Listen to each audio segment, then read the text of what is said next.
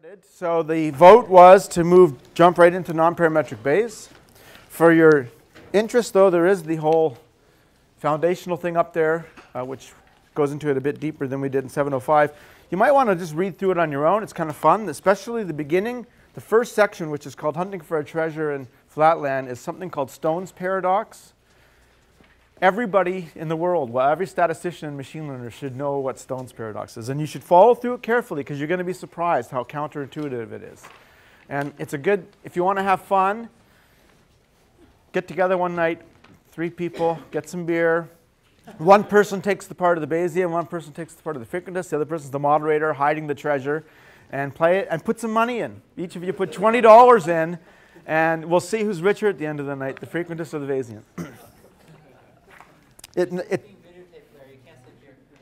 yeah. Uh, not beer. I don't endorse uh, imbibing alcohol. I meant to say uh, Pepsi. Okay. I think they're all of legal age, though. So we're going to talk about non-parametric Bayes, uh, which is, was pretty interesting. So the constructions themselves and so on are, are uh, quite clever. And the idea is to do the same kind of thing we've been talking about, density estimation and, and regression, but do it from a Bayesian point of view. Of course, the interpretation will be quite different, right? Because it's not going to have the frequency guarantees, but we're still going to try to compute a prior and a posterior. And it raises some interesting questions because we're dealing with now infinite dimensional spaces. Just remember, if we were dealing with, let's just review the parametric case, we would have a sample from a density given theta. Because we're doing this in a Bayesian framework, we would regard theta as a random variable as well. So it would have a prior pi. And then the, the mechanics at that point are easy, right? Now you just do Bayes' theorem. Let me try to use the same symbols, which we know we learned is just the likelihood times the prior. Okay, and so that's how we did Bayesian inference in 705, and probably 701 you did some of this too. Once you have the likelihood, or I should say, once you have a model specified, once you have a prior distribution for theta, it's all mechanical after that. You just multiply the likelihood times the prior, you get the posterior. The posterior, you get, let's say the mean could be your point estimator.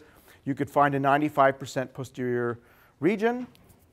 Uh, that would be your Bayesian uh, sort of a Bayesian version of a confidence interval, although it's often called a credible region. And that, so that would be a set, let's say A, which has probability 1 minus alpha. the interpretation then is that theta regarded as a random quantity, random in the sense of not frequencies, but in degrees of belief, that the probability that theta is in there given the data is 1 minus alpha. And as I stressed in 705, that doesn't mean that A traps the true value 95% of the time. That would be a confidence interval. Okay. And of course, the, the, there can be difficult computing issues because computing the posterior can be difficult. And I don't know if we'll talk about simulation methods or not. I'm sure you did some of them in 701. But there's things like Monte Carlo Markov chain methods for simulating from the posterior. So even if you can't write down the posterior exactly, often we can simulate from it fairly easily. And still find all the things we want, like the, the 95% intervals and so on. So at least conceptually, the nice thing about Bayes is it's all very simple, right? It's just likelihood times prior. That has a nice unifying feel, feeling to it. But what we want to do is extend this to, to uh, the non-parametric setting. So I'm assuming, again, because of the prerequisites, that you're all familiar with how to do this in the parametric setting. Any questions about that before we jump into the harder non-parametric case? Everybody okay with that? Yeah. I have a different question. Uh, historically, did Bayesian nonparametrics try to copy nonparametrics that are not Bayesian, or do they develop kind of independently? No, that's a good question. So um, I wouldn't even just say historically, I'd say quite a bit now. Uh, there's an attempt often to copy the frequentist answer, and that's something we'll talk about, which is um, how does it relate to the frequentist answer? In fact, the first thing we're going to talk about is estimating the CDF. There'll be a very close connection.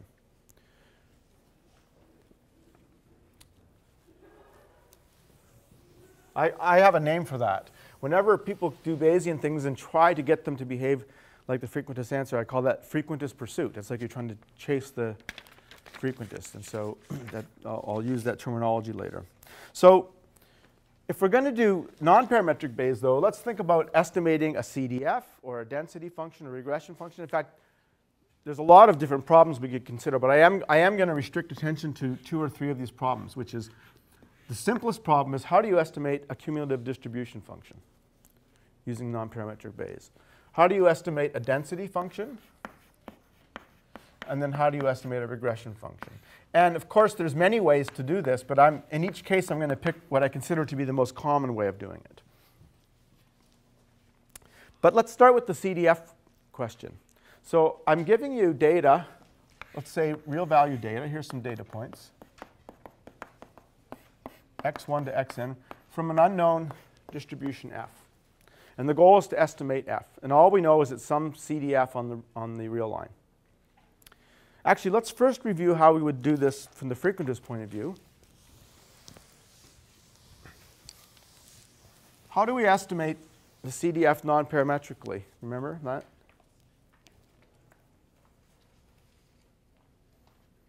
I know you remember. Come on. It's one that not yeah. The empirical CDF, right. So you put mass 1 over n on each data point, or in other words, we take this empirical CDF is just the number of observations less than or equal to x over n. That's the empirical CDF. And we, we saw that in 705, we saw that that's a consistent estimator. And let's, let's, let me amplify that remark a bit. What I mean by consistent in this case is that the sup over all x's but also the sup over every possible distribution function goes to zero in probability. In fact, we had an inequality for how far apart they are, and we'll come back to that when we get to concentration and measure later in the course. But we did this in 705. We can say how far the CDF is. We know that the probability that the empirical CDF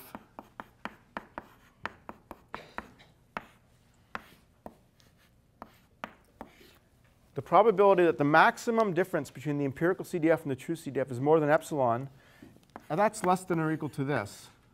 This is called the DKW inequality. Dvoretzky, Kiefer, Wolfowitz.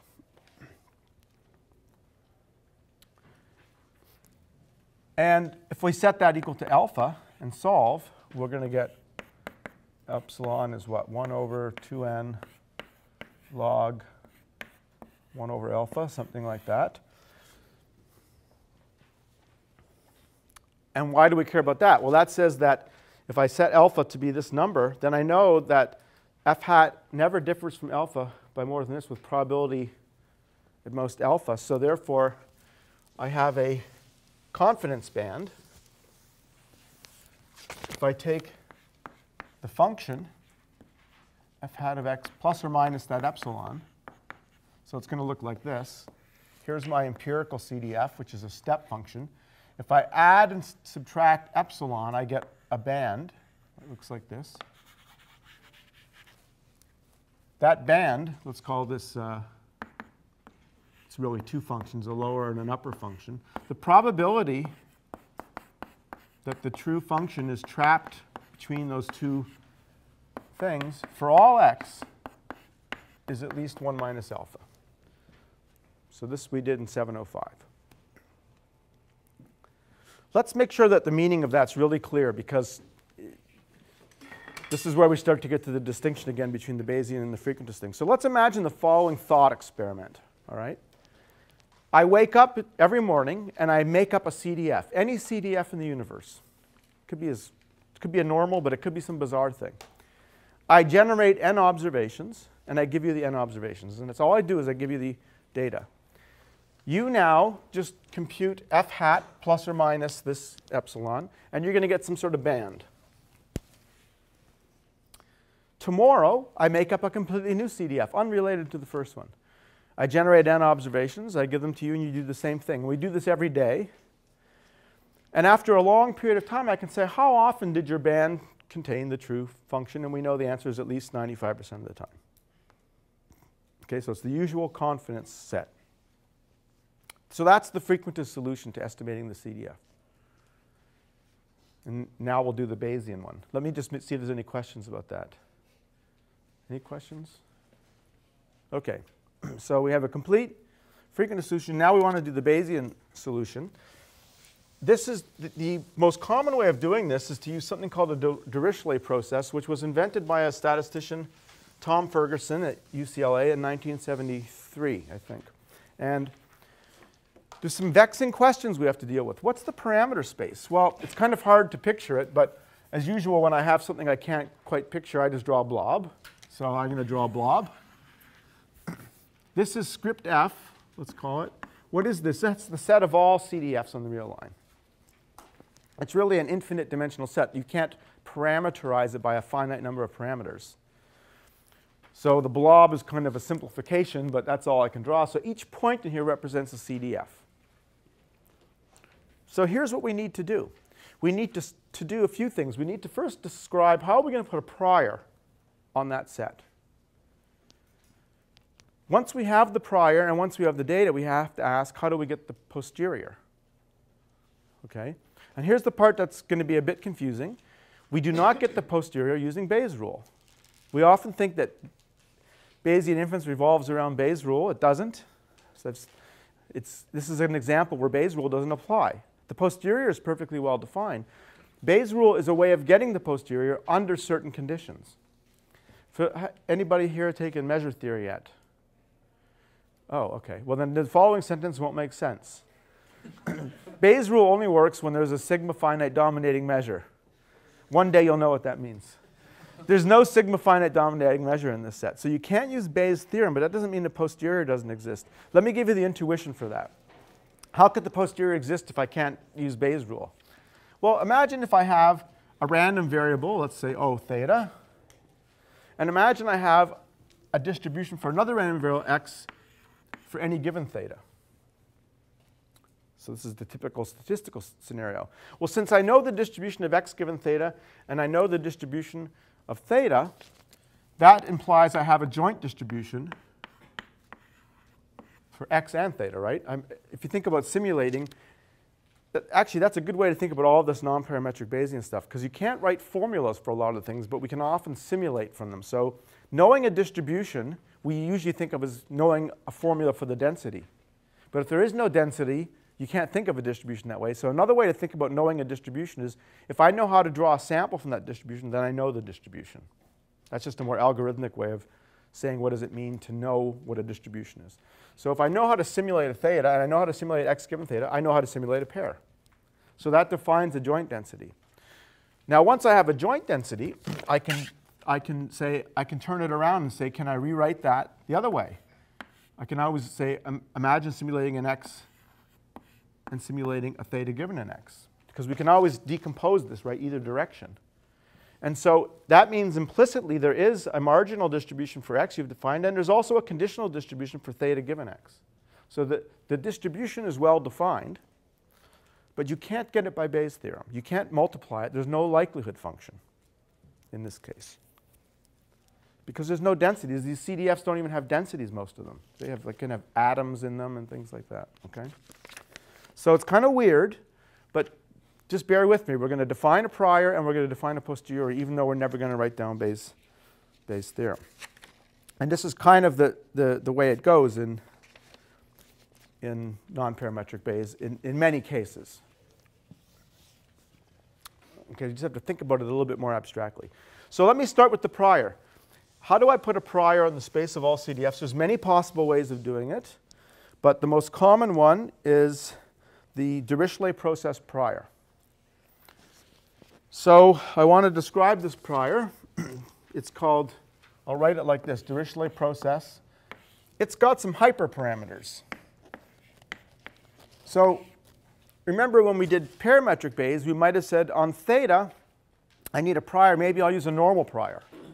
But the normal itself had parameters, a mean and a variance. Those are called hyper, hyperparameters, the parameters you needed to specify the prior. So the same thing is true here. To define this prior, pi, this Dirichlet process, I have to specify, and this is a number, and this is a CDF. And the way to think about it is this F0 is your prior guess of the CDF. And the alpha is a measure of how strongly you believe in that guess. It's a real number. Okay? And you'll see when we see the posterior, it'll be a bit clearer. But you're wondering, what is this Dirichlet process prior? So again, instead of describing the prior, I can't write a formula for it. I'm going to describe it in two ways. I'm going to describe a way to simulate from it, and then I'm going to describe it in terms of its certain characterization of it.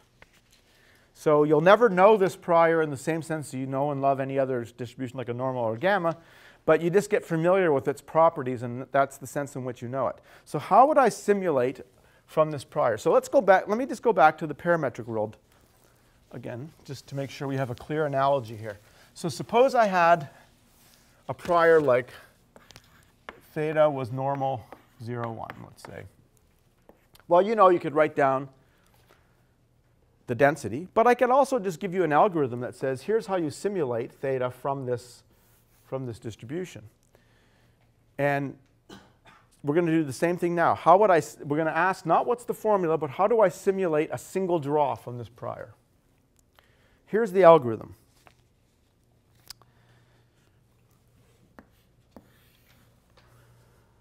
So we're going to draw independent random variables, and we're going to imagine we can draw infinitely many. In practice, you could stop at 1,000, let's say, but conceptually, we draw an infinite sequence IID from your prior guess.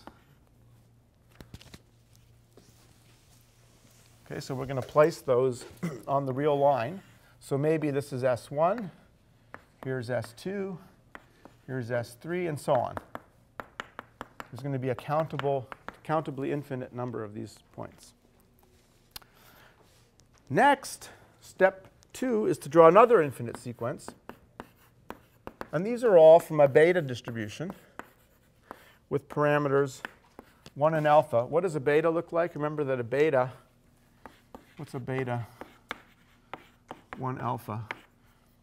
That has a density, um, let me make sure I get it right. Which one's, that's going to be 1 minus u. Does this look right?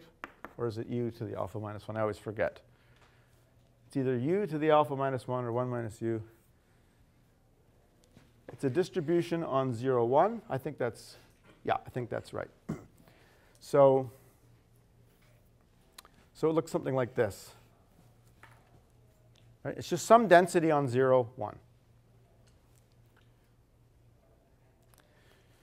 And I draw, again, an infinite number of these. Now comes the really cool part, the stick breaking part is called. So what you do is, I'm going to create a new set of variables. This is a deterministic transformation of these variables called W. So W1 is just equal to V1. So the way to picture what's going on is I'm taking a stick of length 1. I look at my first V. That's a number between 0 and 1, right? It's a random draw from this. Let's say it's here. So I imagine breaking off this stick. That's W1. Now for the second one, what I do is I look at V2 and I take that proportion of what's left over. So I take a proportion of this stick and that becomes W2. So in other words, W2 is V2 times what's left over, which is 1 minus V1. And then we break off that proportion of the stick. And then you continue that way. W3 is you just take V3 and take that proportion of that stick and you keep going. You keep breaking it down. And so you, that's the formula that's written down there. So what we're getting here by construction then is a sequence of W's that sum up to 1 because they're going to add up to the whole stick.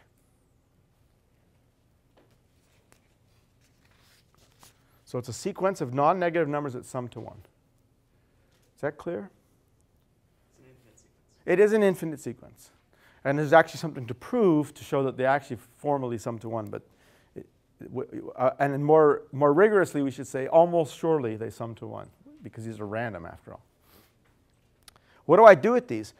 What I do is I take those and I, I look at the first S1 that I drew and I put W1. That's how much mass I'm going to put on S1. Then I take my second W2, put it on top of S2, and so on. So I'm just placing this mass on these things. And what I've done is I've created a discrete distribution. I now have a bunch of points on the real line, and I've put mass down, and the mass sums up to 1. So it's a probability mass function. And so it defines a CDF. If I compute the CDF of that thing, it's going to be pretty bumpy. you can see it's not a continuous distribution, it's discrete. But nonetheless, if I define f to be, let's put it this way, f of t is the sum over j wj times the indicator of whether sj is less than or equal to t. Or if you want to think of it, it's a sum of, it's a weighted sum of Dirac delta functions, each one at one of the points. So it's going to be a kind of weird CDF. It's going to be very bumpy. There's jumps at each of the points. But it is a valid CDF. It's a real CDF. It goes to 0 to the left, goes to 1 to the right. It's non-decreasing, and so on. And um, that, what we've just done is construct a random distribution function.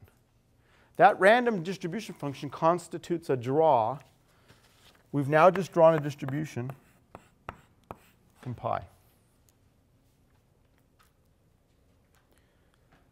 Okay, so this, in some sense, you now know what a Dirichlet process is, in the sense that if somebody put a gun to your head and said, give me a random draw from a Dirichlet process, you could go and do it really quickly. You can't write down a formula, but you can certainly draw from it. So in that sense, you know what a Dirichlet process is. If somebody asked you, what do they typically look like, these you know, draws? You could just draw many times, many CDFs, and plot them and look at them and get a feeling for you know, what the prior is telling you. So it's kind of an indirect way to understand what the CDF is.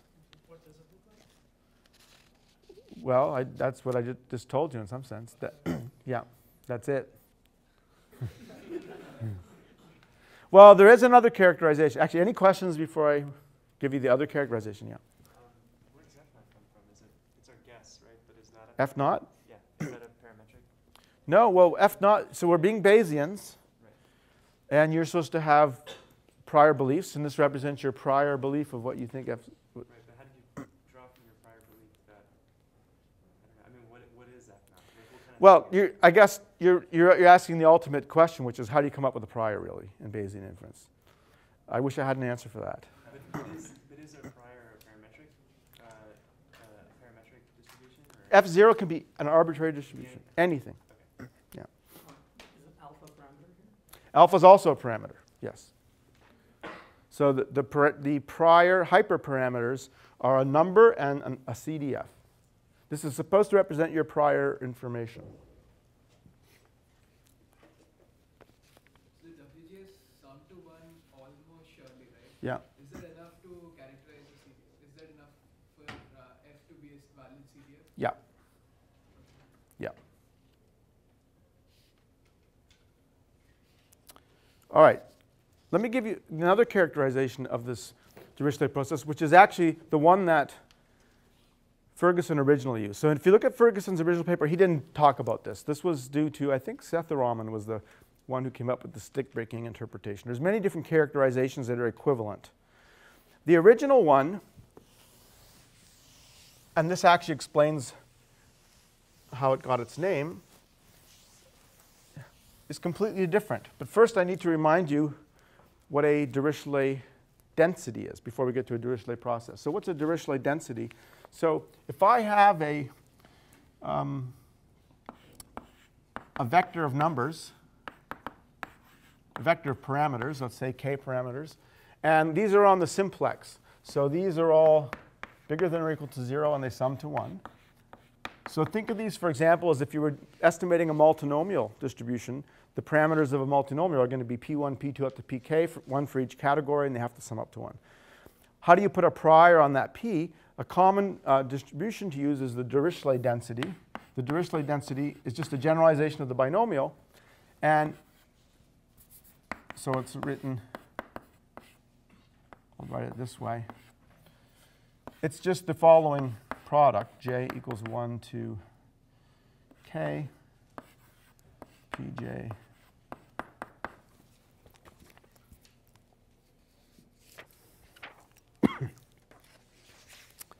Um, and then I, you can rewrite this. This is at the bottom of page four. These bi j's I've allowed to be arbitrary numbers. If we want to rewrite it in terms of something that sums to 1, I can just rewrite this again into a more convenient form, which is pj to the alpha gj minus 1, where alpha is the sum here. So I'm, I'm forcing, in other words, right, these are just, at this point, these are just arbitrary positive numbers. But I can just normalize it so that it's something times gj, where the gj is sum to 1, and there's an alpha there. So there's really, this beta I've kind of split now into two parameters, alpha and g. This you can think of again as a prior guess of the vector p, and this is a number. Did you see the Dirichlet in 701? Because this is commonly used in document modeling and things like that. So it's just a commonly used prior for multinomials. So what does that got to do with this thing? Well, it must have something to do with it because this is called a Dirichlet process. So here's the connection. The way Ferguson originally described the Dirichlet process is he says, I'm going to define, I'm going to say that a random distribution function, pi, or uh, f, so we're, we're drawing f from some pi. I'm going to claim, I'm going to say it has a Dirichlet process distribution. If, when it's restricted to any finite partition, I get a Dirichlet distribution. So in other words, he says, imagine you had some way, he hasn't even defined the process yet, but he says, suppose there was some way of drawing random f's, and that whenever you drew a random f, I can take any partition I want as long as it's finite, let's say like this, and so on, up to a k. And I can now take, somebody has somehow drawn a random f. I can now evaluate the probability of each element of the partition under this randomly drawn f. So let's, let me just call that f of a1. It's bad notation, but I just mean the, the, the amount of probability in this set under this distribution. That's a finite vector. Okay, somebody draws a random f, and now they compute the, the, the probability content of each element of this arbitrary partition. And now I can ask, well, since f was random, this vector is random, what distribution does it have? And Ferguson says if it always has a Dirichlet distribution in that sense, with parameter alpha, and with the g, these g things being just the f0 of a1 and f0 of ak, then we say that f has a Dirichlet process distribution with parameters alpha and f0. So this is very indirect again. He's saying, suppose there exists a random distribution, a way of drawing a random distribution f with the following property. I pick any partition, I compute the probability of the partition, I repeat, and I say, oh, look, it has a Dirichlet distribution with these parameters.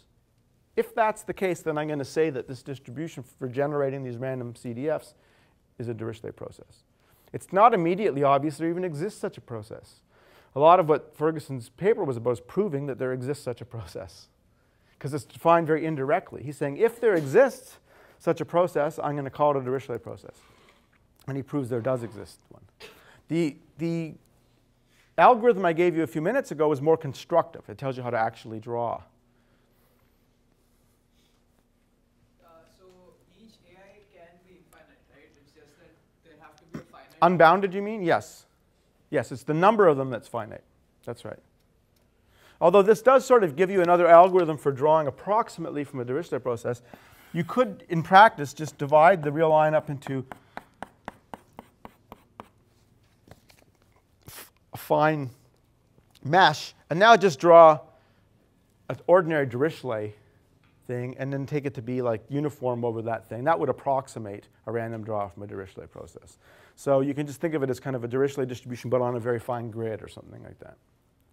So it is kind of natural if you could to go from multinomial, which is a bunch of probabilities, to just the real line, which is a whole bunch more probabilities. Okay. All right, so now we have two different ways to think about this Dirichlet process. They're very indirect, but hopefully you get the sense that there is some sort of prior sitting over the space of the CDFs, and it has some properties. And we're not going to go into the great detail about the properties. Again, Ferguson's paper, that's what it was all about, was what properties does this prior have? And there's all kinds of known proper properties and so on. For example, the mean is F0. Your prior guess is the mean of this distribution. So that's kind of intuitively satisfying. Is A1 to AK are uh, random variable? I'm sorry? Is A1 to AK are uh, random variable? No, no. A1 to AK is a partition that I've picked. Any partition. An arbitrary partition of the. So this is A1's a set, A2 is a set, and I've just picked them arbitrarily. And this has to hold for any choice of A1 to AK. In fact, and for any K as well. Okay? So it's just a characterization of what a Dirichlet process is. So in general, are there any Dirichlet distribution that cannot be drawn from a Dirichlet process? I'm not sure I understood. Are there any, can I define a Dirichlet distribution that no Dirichlet process can draw it? well, it's kind of the definition of it, though. So, yeah, it's, it's almost getting kind of circular. I mean, if it, if it wasn't generated this way, then we wouldn't call it a Dirichlet process. It's kind of weird, yeah. Was the question about the stick breaking process or the Dirichlet process? Dirichlet. Oh, okay. So it covers all the possible Dirichlet. Well, this is the definition of a Dirichlet process. If it can't be, if it doesn't have this property, it's not a Dirichlet process. What is F naught of A1?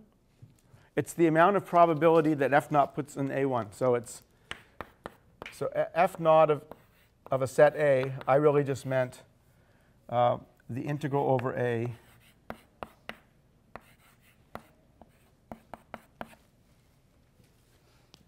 just short form for that.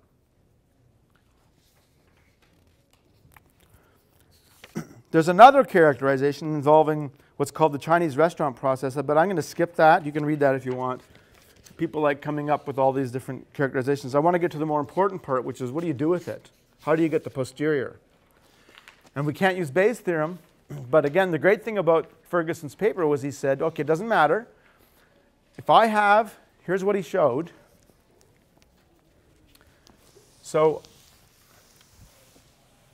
and just to make sure everything's concrete, I'm going to draw the parametric and non-parametric worlds in parallel. So in the parametric world, I imagine drawing theta from a prior, pi of theta. I imagine getting data from what? From f of x given theta. And then somehow we get down to a posterior distribution. So we're going to mimic that. I've described to you now that the, the parameter, remember, now is the CDF itself. And we've described how to draw from that. What's the model? The model is that the data come from the CDF, right? Where x1 to xn are assumed to be IID draws from this f. That's what we're trying to estimate. Just like that theta is what we're trying to estimate, the f is what we're trying to estimate. But now, what I really need to know is how to get the posterior distribution. How do I get the posterior for f? I shouldn't even, well, I'll write it like this, given x1 to xn. And we can't use Bayes' theorem. But luckily, we can still describe the posterior, and we can describe it in such a way that we know its properties, and we know how to sample from the posterior.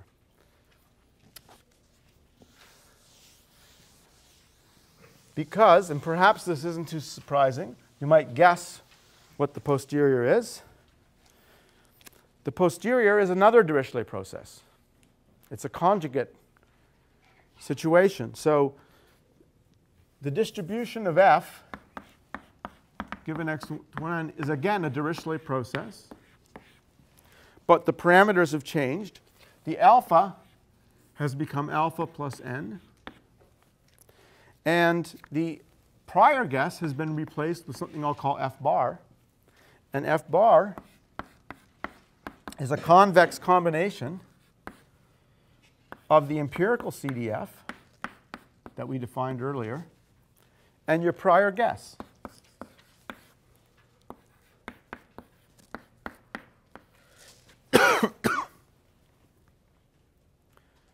so we've sidestepped Bayes' theorem, but we still know that this has a posterior and it's a Dirichlet process.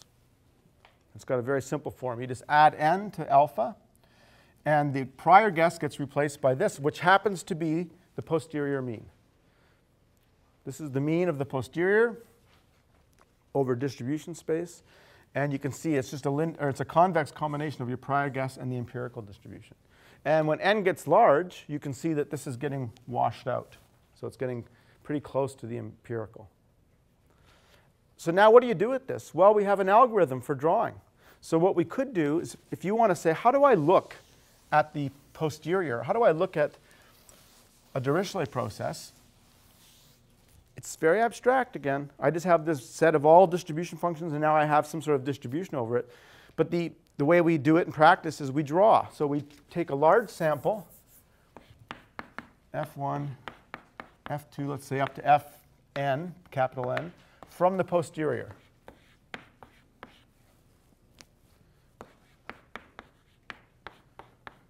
And we can, we can draw these things and see what they look like, see where are they. We can even get a 95% band because I can now take all the draws and I can find numerically a band that traps 95% of the random draws. So I can find just numerically an L and a U so that when I simulate, I see that 95% of the time the, the random draw from the posterior falls in there. We literally just draw, say, 100,000 times and then find two bands that have that property. And so what is the interpretation, though? It's quite different from the one we did at the beginning of class because this is a posterior statement. This says that the random draw from the posterior satisfies this. So remember in the frequentist statement, the CDF was a fixed unknown CDF. What was random was the lower and upper band. Those bands were random, and in our thought experiment, you computed a different band every day, and you trapped the truth 95% of the time. This is different. This is saying if my prior beliefs were represented by this Dirichlet prior, then after seeing data, my posterior belief is that f is trapped in between this and this, and this is random in the Bayesian world, that's the parameter, with, with posterior belief 95%. That's the Bayesian version of this problem. If we did that thought experiment again with you and your roommate, where one of you did the first confidence interval that we did and the, the second person did this one, you're doing two different things. It's really important to keep that in mind. This one's not going to trap the true CDF 95% of the time. It's not designed to. There's no coverage claim about this. This is supposed to be integrating your prior beliefs with the data. That's what this is for.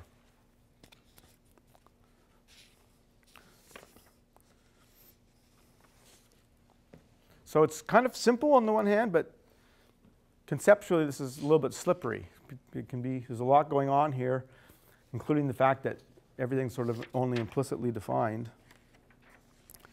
Let, us look at page seven. There's an example here. The top left plot I just did an example with kind of an arbitrary alpha and f0, and I just drew from the prior. So what the top left plot shows is where the probability mass is going. That's the W's. And then I formed the CDF, and you can see there's a, so that's just one typical draw from the prior in this particular example. Okay. Then I got, you know, I generated some data from a particular distribution. The bottom left plot shows just, I think, how many draws did I do? Uh, several draws from the posterior. That's what this one is, including the posterior mean. The bottom right plot shows a bunch of stuff. Hope you can see it. It shows the empirical distribution. It shows up better on your computer because that's in black. The true distribution, and then the mean of the posterior, as well as the 95% interval. And the point being that these can all be quite different from each other. Now, when n is large, there won't be much difference. Because we saw when n is large, this prior part kind of disappears and we're back to the empirical CDF. But when n is small, or if alpha is large, which alpha represents your strength of your prior belief, then the Bayesian and the frequentist answer will be different. Okay? Good. So that's that's everything we need to know in a nutshell about estimating a CDF. Estimating a CDF is probably not the most interesting problem in statistics, but it's always a good place to start because it's simple and we can talk about it in great generality.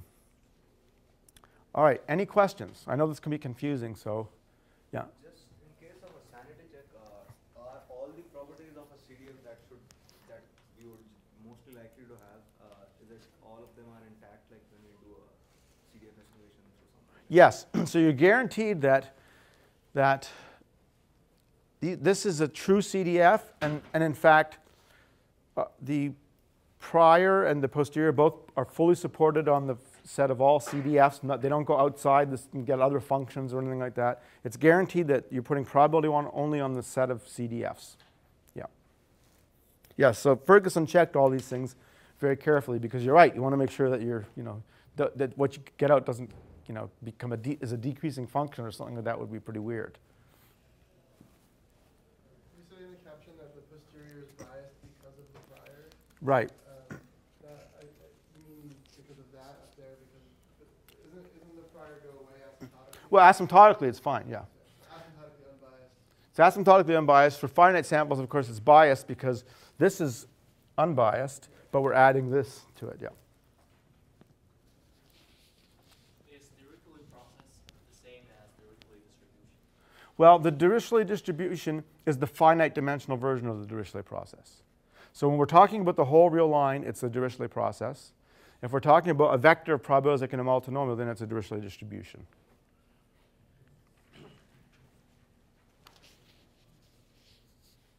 Are there equivalents in the non-parametric case for, say, a non-informative or a Jeffreys prior sort of idea? Yeah, so in parametric inference, there's been attempts to come up with non-informative priors. That's a bit controversial.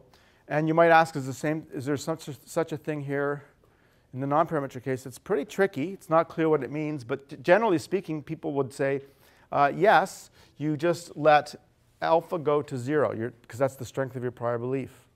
And so the non-informative case would be letting alpha go to zero is what most people say. The strength of your belief goes to zero. You're just back to the empirical CDF in that case. But doing it like a Jeffreys prior, that kind of thing, that's all very, very leveraged on things like Fisher information, analytical properties, which just don't, don't exist on a space this big. Is the um, stick breaking process the only way to draw?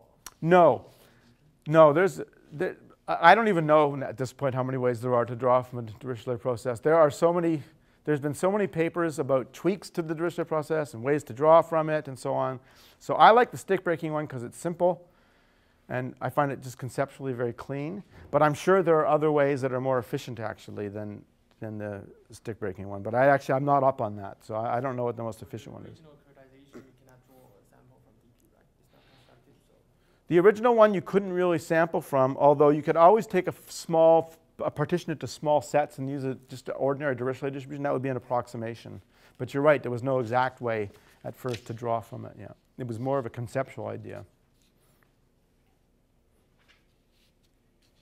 Uh, in what situations is this a better approach than just taking the empirical CDF? Well, that's that's the lecture we skipped. the question is, when is this better than the empirical CDF? It depends who you ask.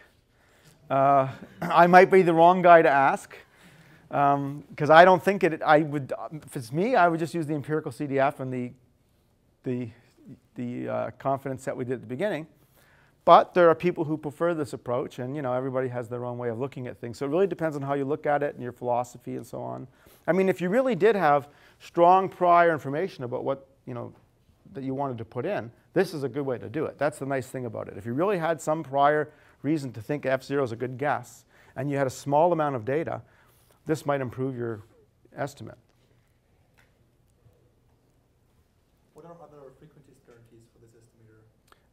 Like, is there, a con- I guess, is there consistency? Is there like Yeah. finite sample? Like, given that we make some additional assumption on the prior. So I'm going to get to, uh, well, if I have time, I have a whole section here on theoretical properties of non-parametric Bayes.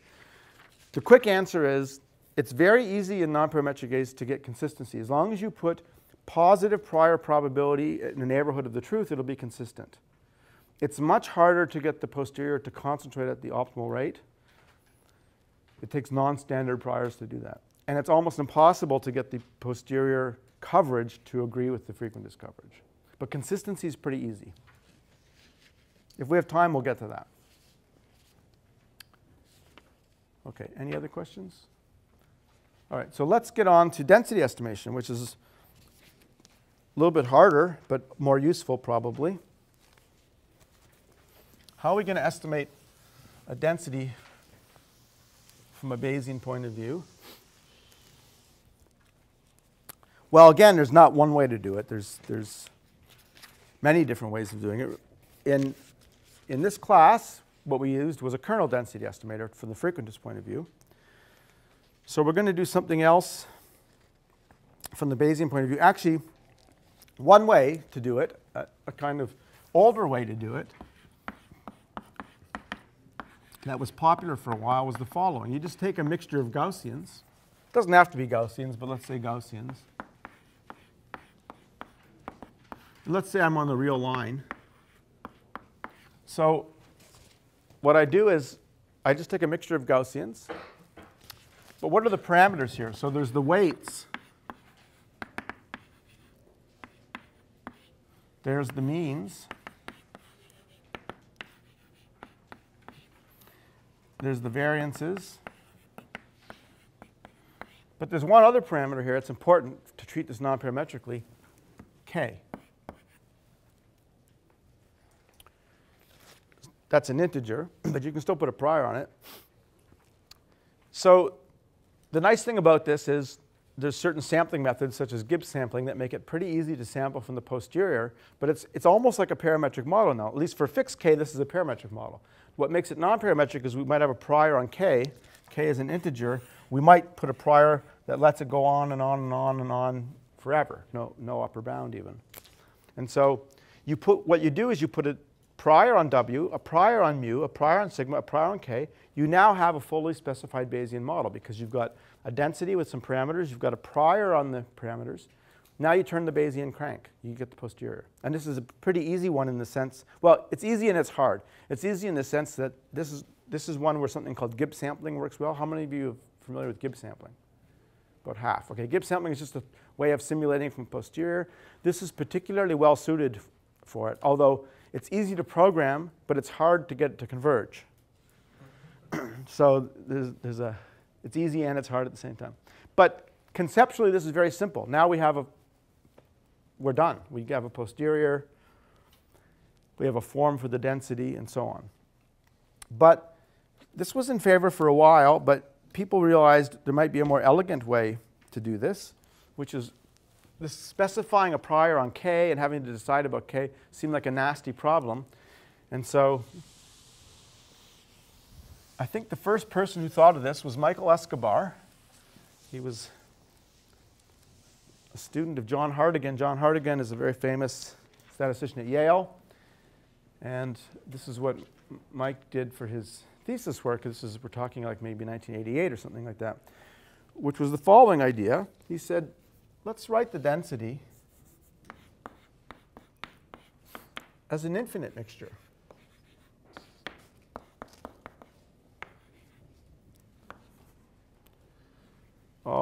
I'll, write it, I'm going to write this kind of generically. It doesn't have to be a normal, although usually the most common cases people use a normal, so the theta j really stands for two parameters, the mean and the variance.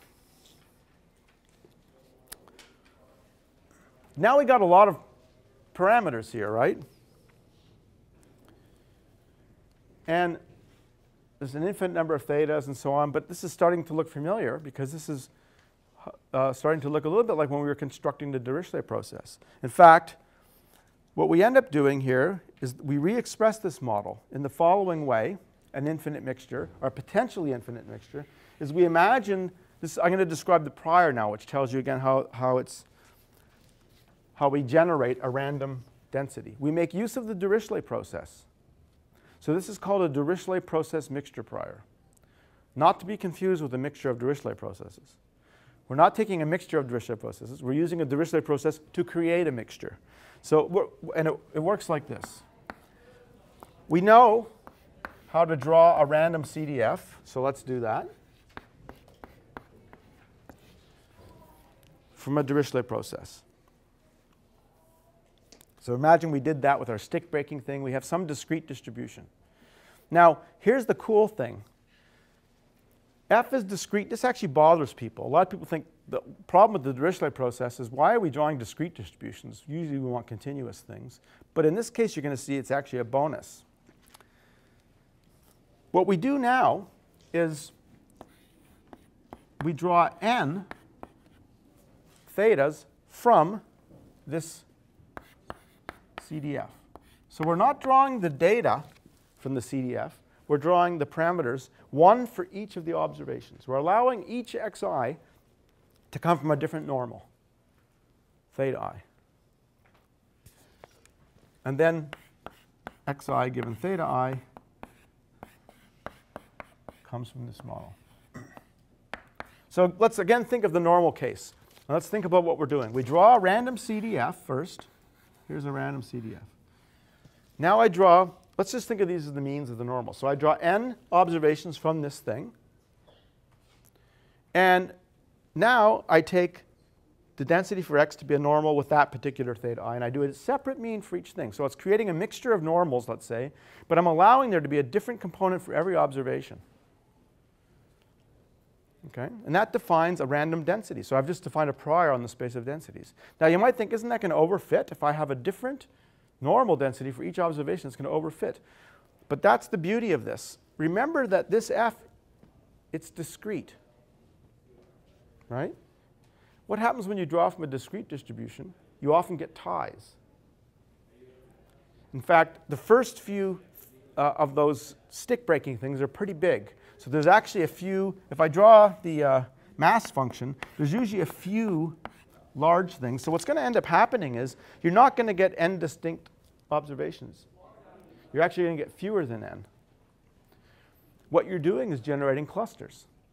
You're going to generate, let's say these are, let's say your sample size is 100, maybe you'll draw 100 times, but you might only get like 15 distinct values. So that's like saying uh, it's a mixture of 15 normals. It's automatically kind of forming clusters for you. It's, it's creating a mixture of normals with a kind of clustery structure to it automatically.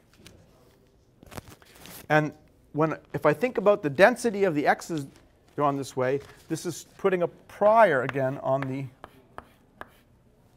on the density, on the space of densities.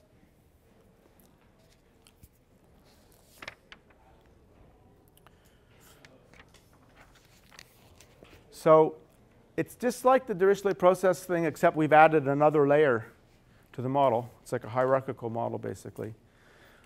And it's just a very clever way to define a, it's a clever way to define a, um, a random density function or a prior over the set of density functions. Okay, Is, any questions there? This one's a little bit more confusing because there's an extra step. we have more than one parameter, like Yeah, that's a, that's a good point. So this theta, let's say in the normal case, is actually a pair, mu and sigma. So we actually need a bivariate distribution in that case, which is what we do. Or typically a product, one for mu and one for sigma.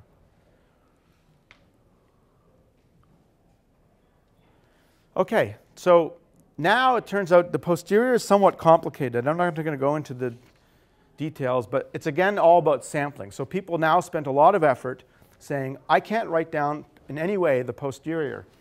Remember that the, what is the parameter space? The parameter space is some set of density functions. And you have to picture I've got some sort of prior distribution on a set of densities. Now you give me data. I have a prior, and I have a model for the data. That defines a posterior distribution on the space of densities. You cannot write it down, but there are very clever sampling schemes. They're a little bit more involved than the ones I just talked about. And I don't know, depending on how much simulation we do, we may or may not talk about them. But there's been many, many, many papers written about this because the original algorithms were very slow and people have since speeded them up. The important thing is that there is a posterior and we do know how to draw from it. There are various algorithms to draw from the posterior. So if you want to know what the density estimator is, the Bayesian density estimator, the way you answer that question is by, is by sampling. You draw P1, P2 up to, let's say, P 10,000 draws from the posterior. This is now some sort of black box for generating density functions from the posterior. And the Bayes estimator, which would be the expected value of P given the data, is therefore approximately, we just average these draws from the posterior.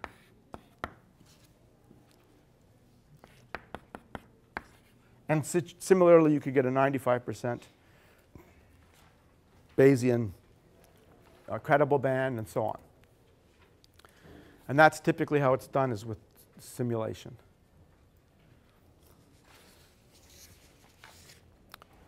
Now there are a lot of parameters hanging around. Let me just warn you about that. Um, we have to specify this F0. What is that F0? That's your prior guess of the distribution. People often take that to be a normal. But then that normal itself has a mean and a variance, so people put a prior on top of that. and then alpha is a number. People don't like putting in a number, so they draw that usually from a gamma distribution. But the gamma itself has parameters. So I'm not trying to be facetious here. This is actually what's, in fact, I, I wrote on page 10, I pulled one out of a paper, a typical paper that just gen, uh, that lists some of the um, parameters. There's a lot of parameters to specify in this thing. So again, I'm not necessarily recommending this, but that's, this is what, to, what you have to do. From my point of view, kernel density estimation, there's one thing, the bandwidth. and we know how to pick it pretty well, cross-validation, right? So the Bayesian thing is, seems to me, maybe I'm wrong, but it strikes me as being much more complicated. It seems to me there's about eight or nine parameters you have to specify to do this. Um, and the theoretical properties of kernel density estimators are very simple. The theoretical properties of this, if, if, we have time, we'll talk about, are much, much more intricate and still not uh, fully understood. But at a conceptual level, it is satisfying, though, that we know how to do this, right? We still we can do it in the sense that we we do have a way to specify a prior on the space of densities, and we have a way to get the posterior on that space of densities. So we can do CDFs and we can do densities as well. Okay, so we have uh, 20 minutes left. I should either do regression or talk about the theoretical properties. Let's see. Decisions. Decisions. Anybody have any preferences? Regression, okay. Let's see. How do you do regression? Let me emphasize again, though, that in each case I'm showing you one method which I think is the most popular method in each case, but it's not the only method. Okay, and so in regression, I'm going to show you Gaussian process regression. But again, it's not the only method. I think it's the most popular. So what's the non-parametric regression model? Let's say y of x is equal to m of x plus epsilon. Now we do need a distributional assumption, it turns out. So I'm going to assume the epsilons are normal. And what's the parameter? The parameter, again, is a function, m, the regression function. So the thing we need to put the prior on is, again, a function space. But now it's not the set of all CDFs, and it's not the set of all densities. It's the set of all regression functions. And a common choice is this. So what is, let's, let's just draw a typical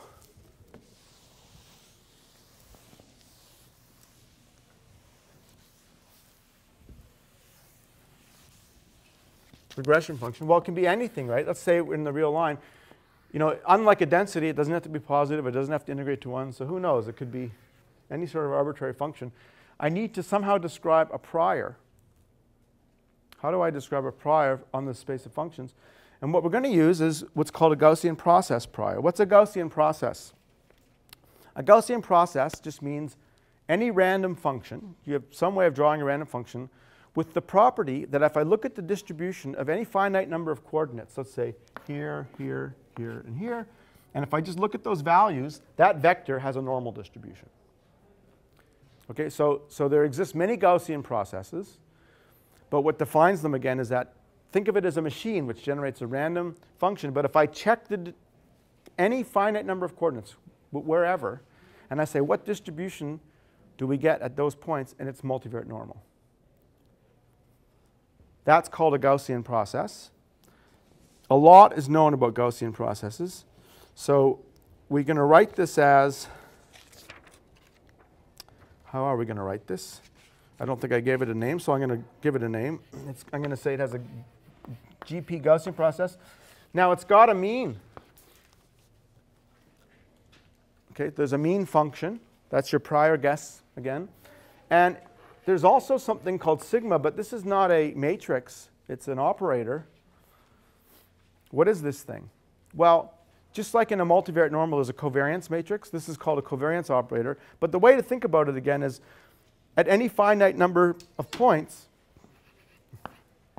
you fix any finite number of points, say xk, and I evaluate it at those points, I get just a usual normal distribution with mean mu of x1 down to mu of xk. And with covariance matrix, and this is just the sigma thing evaluated at xj, xi for the matrix that you get by evaluating it at all those pairs of points. If conceptually, just think of it as a normal on a very fine grid. That's really what the way to think about it. Well, the nice thing is, and of course this is why it's chosen, is if I assume epsilon is normal, then the likelihood, there is a likelihood in this case, and it's normal, and the prior is normal. I can multiply the prior by the likelihood, and not surprisingly, it's conjugate, and we get that the posterior is also a Gaussian process. There's a little calculation here, it's just the standard calculation. Actually, I didn't call, let me change to the notation I used in the notes. I called this K. And, and you're going to say that looks a lot like a kernel, which is a good way to think about it.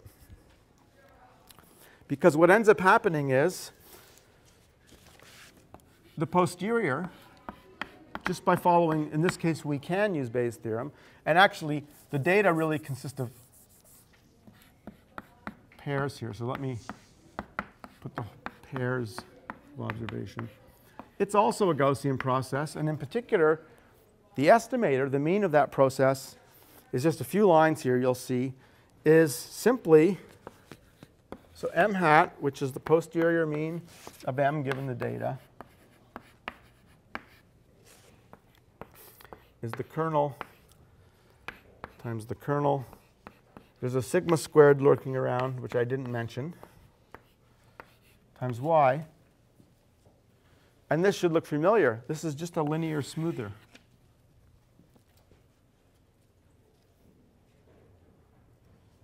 It's another linear smoother. However, there's a slight complication. I haven't told you much about this function k, which specifies your prior beliefs on how related m of x and m of y are when they're close together. And so it's not just a matter of specifying a bandwidth. There's a whole function you have to specify. And there are families of functions. There's things called the Matern functions and various functions that have more parameters in them. So um, a fully specified prior, this actually is a family, let's say, containing other parameters, gamma. And there's, so if you read some papers, for example, by Zoubin Ghahramani, he talks about there's like a vector of parameters, and he shows you pictures of what the typical draws m from the prior look like as you vary these parameters. So if you want to really smooth m, you have to set the parameters a certain way. If you want to allow for a wiggly m and so on. This is how you control basically your prior beliefs about the smoothness of the function m. So it's very similar to linear smoothers that we've already talked about. Um, there are more parameters to specify. It, there isn't just a single parameter.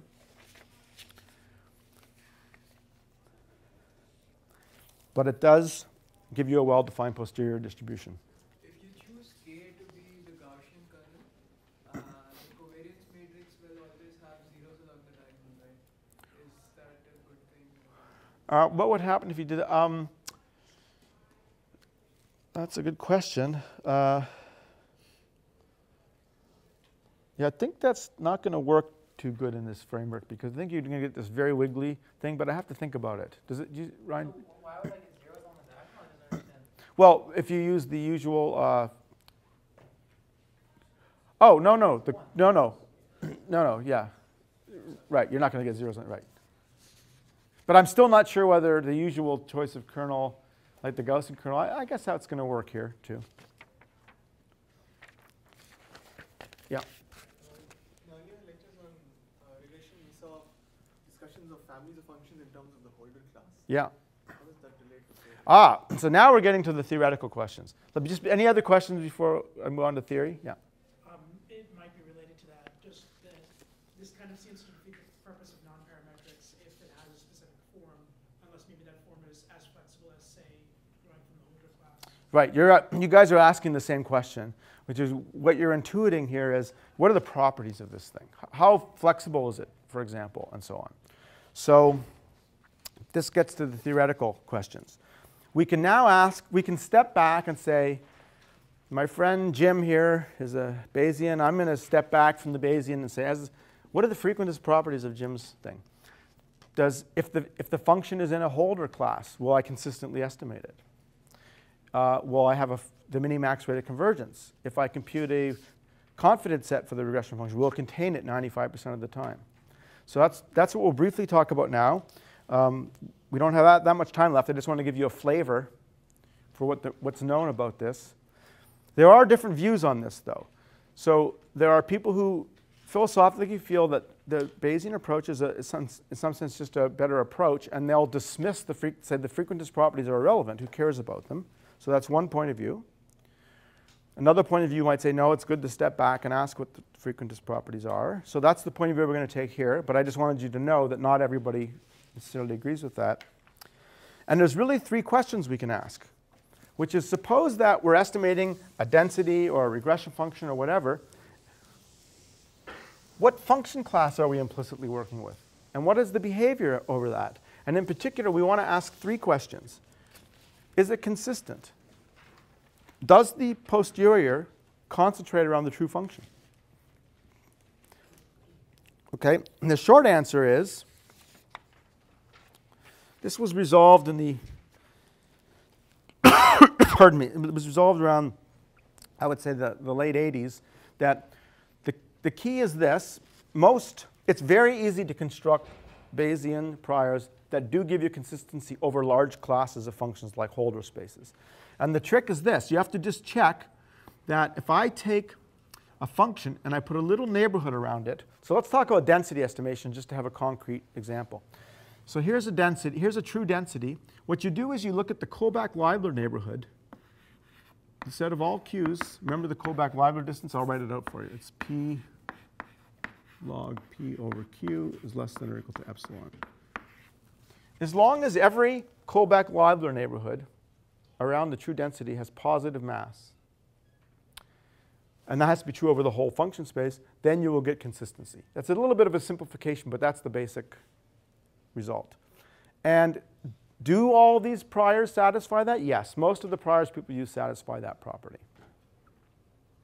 So consistency, people worried about it for many years. There was even some missteps by some famous statisticians going off in the wrong direction, saying things weren't consistent, but it turned out they didn't realize they weren't putting positive probability. You know, when you're first sorting things out, there's often a lot of confusion. But I'd say consistency is not so much of a worry anymore. Where things got more interesting was the late 90s when people worked out the rates of convergence. Okay, and I'm not going to go through this in detail because it's very technical, but I just want to tell you what the kind of punchline is, which is the standard priors that people use, like those Gaussian process priors, you can ask at what rate do they concentrate around the truth? So we know it's consistent. Let's suppose we're doing regression. Here's the true m. And the posterior, it's consistent, so it's getting more and more concentrated. But at what rate? How small a ball can I put around here and say that the, the truth is concentrating in that ball? And it turns out that the standard priors do not converge at the minimax rate. They're slower than that. And I'd say that was a bit of a surprise. Now, it turns out there's some fixes for that problem. And what you end up having to do is a mixture of priors. You take the prior and you do some tricks to the prior and you mix the prior together, a bunch of these priors together, and you can get the minimax rate. People seem not to worry about that, though. I've never seen in practice anybody do these adjustments to get the minimax rate. And I think maybe people just think, well, okay, minimaxity is a nice theoretical property, but in practice, who cares? So they want simple things. So, you know, fair enough. Okay, so so people tend to not worry too much about whether you achieve the minimax rate or not. But the, but the answer is you can achieve it, but it's not with the straightforward simple priors. You need more complicated priors. The third question is, oh yes? Um, I wrote, I actually forget, I wrote the rate down in the regression case. Um, it's a little, it's not that far off. It's not that far off.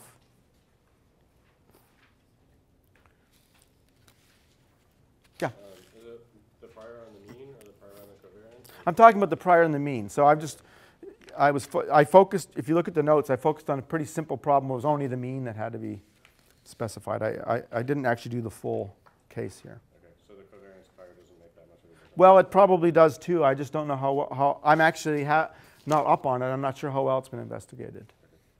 Probably by now somebody has results about that. The third question is about coverage. So if we go back to 705 and we go back to parametric inference, and if we imagined a, a Bayesian constructing their Bayesian region, the probability that theta is in A given the data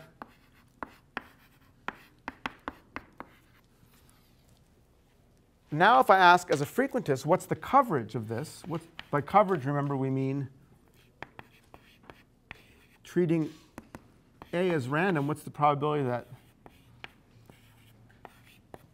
that the random set A traps theta?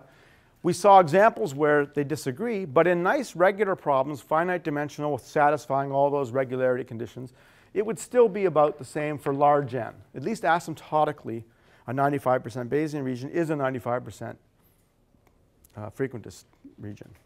At least asymptotically, that's true.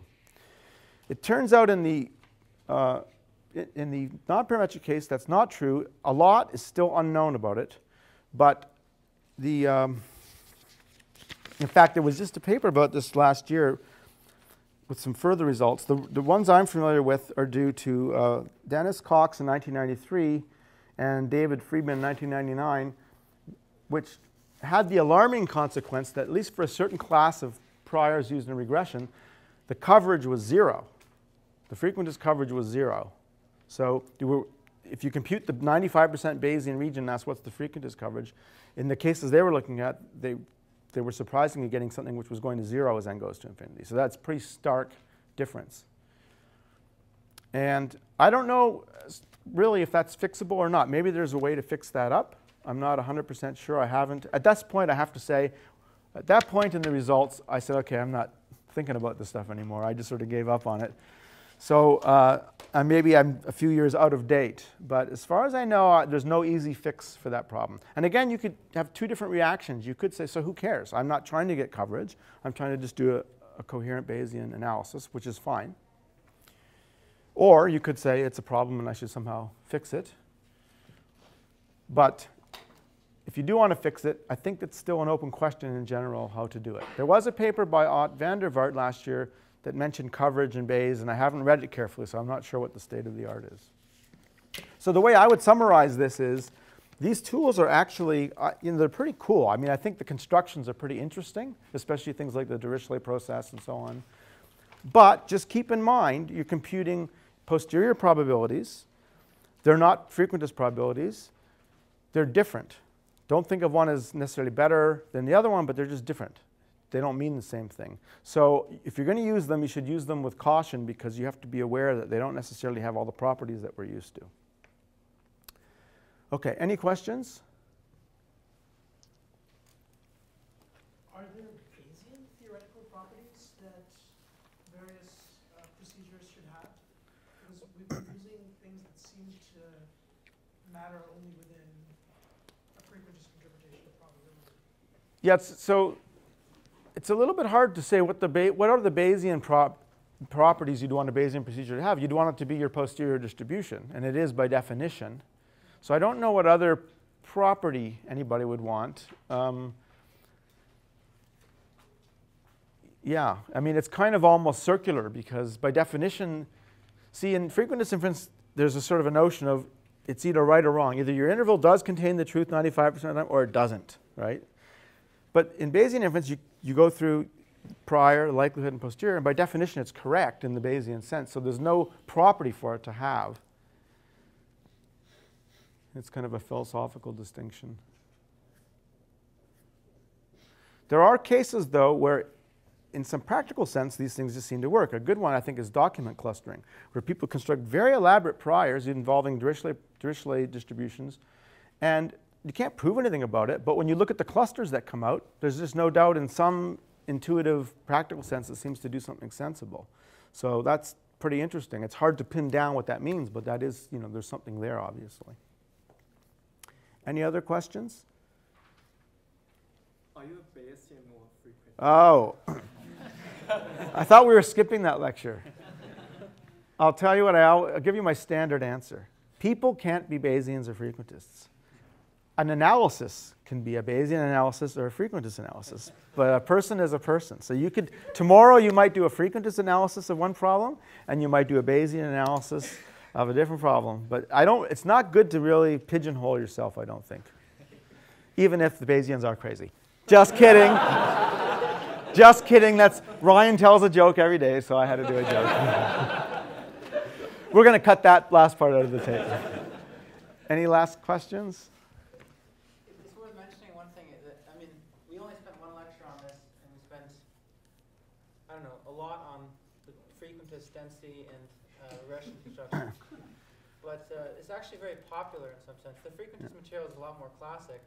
But if, if you guys were at NIPS this last year, you might notice that the something called Modern Nonparametrics Workshop had probably half the amount of people out of it that the Bayesian Nonparametrics Workshop did. So it's very, very popular, especially in ML. Um, so just because Yeah. we didn't spend time on it doesn't mean it's. in a sense That's right.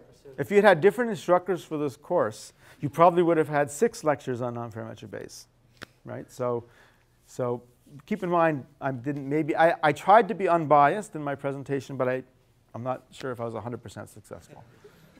All right, so we'll see you next week.